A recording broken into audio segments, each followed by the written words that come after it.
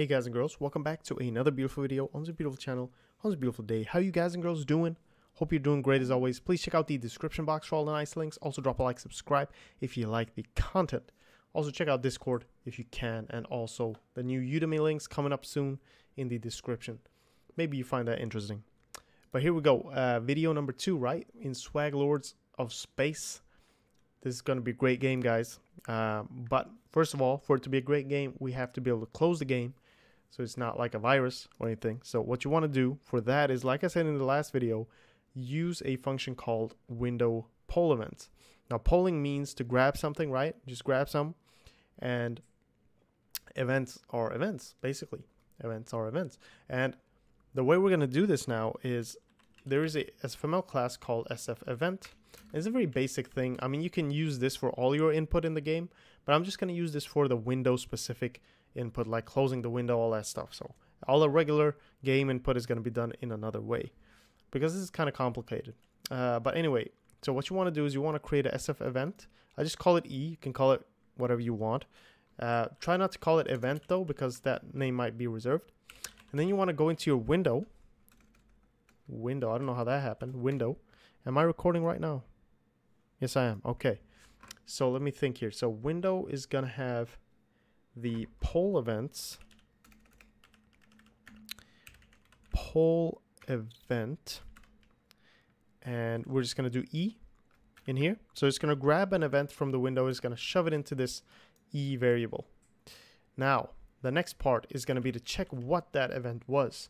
So what you do is you do E dot event type equals uh, wait hold on event dot type. Hold on why is that not working? Event type equals e sf event closed. If that happens there we go okay. If that happens then we're just going to close the window. This window closed because remember this itself is not going to close the window. It's just going to check if the close button was pressed. And then if we see that it's pressed we're going to close the window. So that's basically what that does. If I run this now you won't see any buggy behavior. What you should see is basically a beautiful as soon as it pops up beautiful like moving around things so you can move around the window. You can minimize it. You can close it and that closes the game. So pretty much that's what we're to do. But usually I also like this. I like if I press the escape key that stuff happens. So this E event key pressed and E dot event key dot code equals fsf keyboard escape. So it's a very long sentence here, but what basically what it says is if a key was pressed and that key's code is escape, then, well, we don't need that. Uh, then what we're going to do is we're going to this window close. Now you can do all this in one if statement, but I'm going to do it in two different ones because it's too long. And yeah, but you should probably do it in one.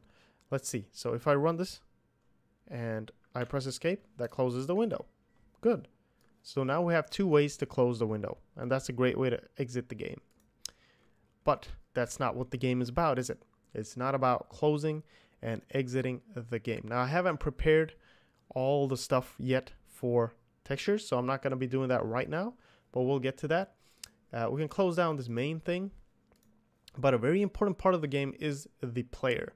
So obviously we need to create a class called the uh, the usually I call it character, but what we can do now is we can just call it player or ship if you want player or ship, but you know we'll just keep it like this.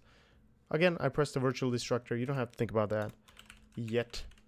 As soon as we get into inheritance, yeah, you're gonna have to think about that. Uh, but here we go. So we have our player constructor and everything. We're gonna need a few functions. Here we go. So obviously we need a void update and a void render. Boom. Very good. Very nice. I'm going to define these. And here we go. like that. Very nice. Now we're gonna have to add some things in these, so I don't know why I just defined them like that, but yeah, I'll explain it as I go along then. Uh, because we need to do some behind the scenes stuff before we get going. Like what I need here, first of all, this is very important for us. This window dot set, here we go. So we have a bunch of set things you can do for the window. Now for our games on our different computers to run at the same speed, we need to limit the frame rate. Otherwise, your ship might go really fast, and might go really slow. So until we don't get all this delta time stuff going, which is a pretty much ahead in the future, uh, we're gonna use frame rate limit so that your game is frame rate dependent. It's locked. It's not frame rate independent, which is a very more complex thing we can do. But what we will do is we'll put it at 144 hertz because my screen supports that and I like that. If you want, well, uh, you know what? Most of your computers might be able to run this. So I'm just going to keep it at that. You know, we'll risk it. I'm pretty sure it will work for you. If it's too slow, write in the comments and I'll try to fix that. Uh, but once you do that, you also want to do this window set vertical sync enabled false. We don't like VSync. Uh, this, if you do want it, you can, but it kind of messes up the frame rate for me sometimes. So I'm going to keep it like this. Uh, and this is good. This is what we need. So once this is done, now we can go and do some core things. When we're rendering the game here, uh, we just have our render function because we're going to render directly to the window. But for our player and stuff like that, a good habit to get into is to actually not always assume that it's going to be a window. It could be another texture you're rendering to, and it's a little more complex feature of SFML, which we'll get to. But uh, what I'm going to do is I'm just going to give it a render target. A render target reference target. Okay? And what we need for that to work is obviously we need to include this stuff in player instead and not in game. Like that. Um, now it should pop up. There we go. Okay and then we're gonna include player in here instead. Player.